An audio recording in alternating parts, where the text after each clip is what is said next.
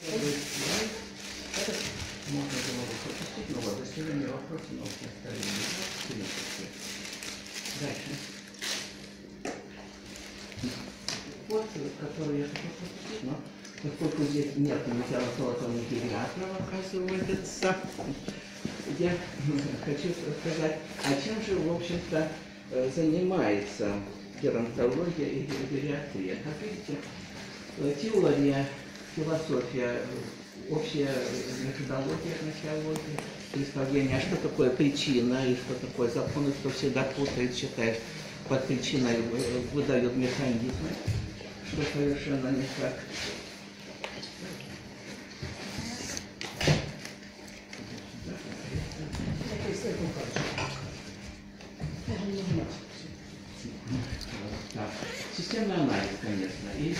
Иерархия структур старения, теории и модели, математика для измерения старения, биология, комплекс популяционной гематологии, значит, вся демография, э, десятки миллиардов случаев для вашего исследования. Фундамент составляет биология, видовая продолжительность жизни, особенности старения, хистология, физиология, ну, в меньшей мере биохимия, возрастные изменения, которые должны, в общем-то, все знать. И поэтому быть геронтологом и не быть, э, в общем-то, врачом, это достаточно затруднительно, просто не будут знать, а что действительно происходит внутри. Биология развития, программа развития их окончания, да? И, собственно, геронтология. Это экспериментальная геронтология, которая акцентирует внимание на биомаркерах, что значит на тех изменениях, которые количественно значимо изменяются при старении. И второе направление влияния на продолжительность жизни. Клиническая геронтология фактически и то же самое, но характер естественно интересно. Генетика – это прогерия долгожителя. Ну и сопутствующие разные вещи. Гериатрия, возрастные болезни, которые психология гериатрия, но это и не только э, там, кандидаты доктора медицины, но и биологических наук. Поэтому гериатрия может вообще не касаться. Это косметология касается всех в течение тысячелетия развивалась неплохо.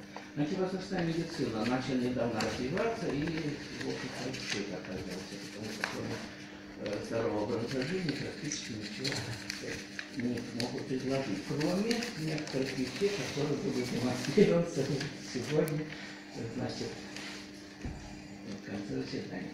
И заимствование протезы, трансплантации, стволовые клетки, регенерации и так далее. Вот о чем все, в общем-то, и следует говорить, и следует, в общем-то, знать, когда мы говорим о геронтологии.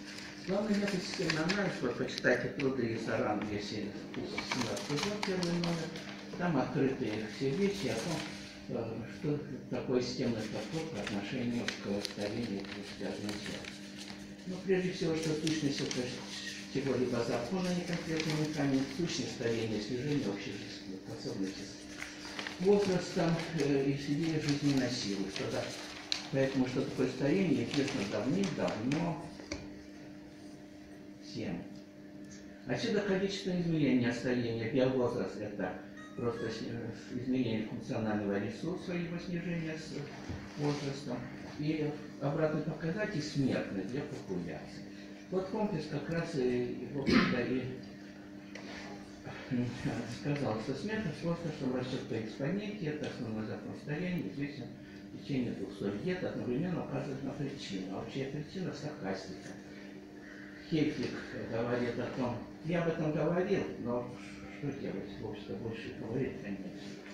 То Хельфик вот прямо в своей статье говорит, что энтропия объясняет старение, ну, генетика определяет э, долгожительство, а вот Петуши говорит, подчеркивает, что неправильно или undefined, да, терминология неопределенная, а определ...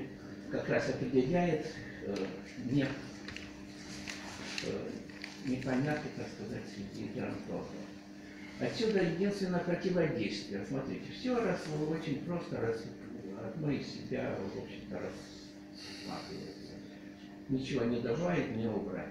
Единственное противодействие старения – регенерация. Регенерация должна касаться всех уровней, молекул, клетки и органы. Если всеобщая регенерация, как гидрокола, не старение. Если нет общей э, регенерации там, где ее нет, там имеет место старение. Для человека, соответственно, да.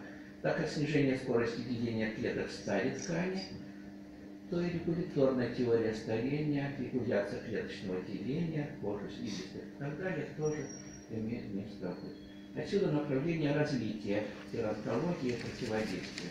Что нам, в принципе, интересно, что мы можем рассматривать, что можно воздействовать.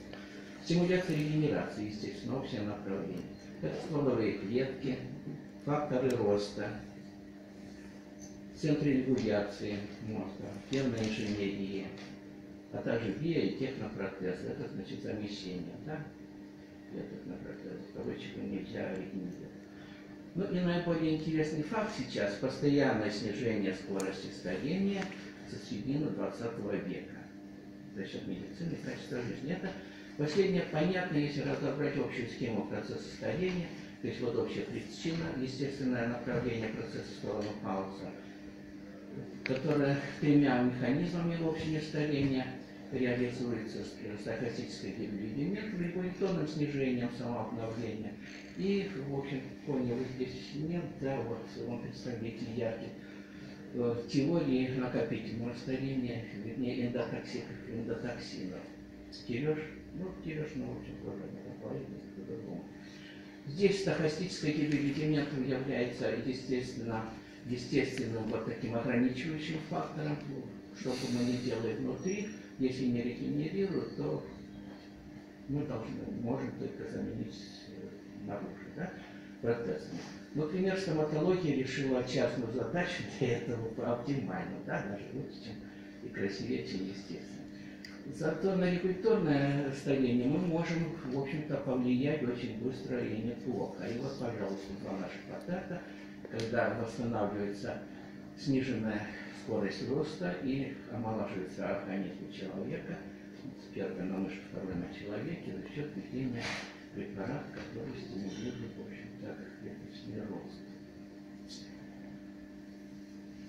Все это реализуется огромное количество механизмов, которые порядка 300 я называю их все, не понимая теории старения, на самом деле это механизмы, которые группируются в видите, синдромы, они аналогичны синдромам при разных заболеваниях, поэтому, во-первых, мы сейчас имеем множество средств воздействия на старение, во-вторых, они, в общем-то, и используются. Вот вам последний слайд. Снижение скорости старения со середины 20 века, 30-е 2000-е годы. Как видите, со середины 20 века начинается и продолжается до сих пор наиболее выраженно для среднего возраста, когда лечение возрастных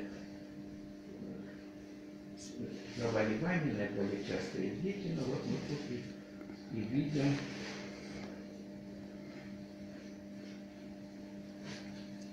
мы тут и видим, видите, отклонение с 50 до 80 лет, резкое снижение скорости старения.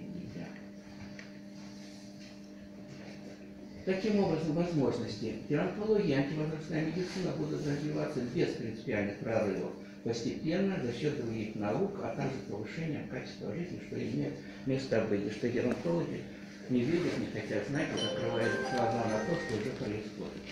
А что можно сделать сейчас? Вот э, давно я вам предлагал, собственно, предложение.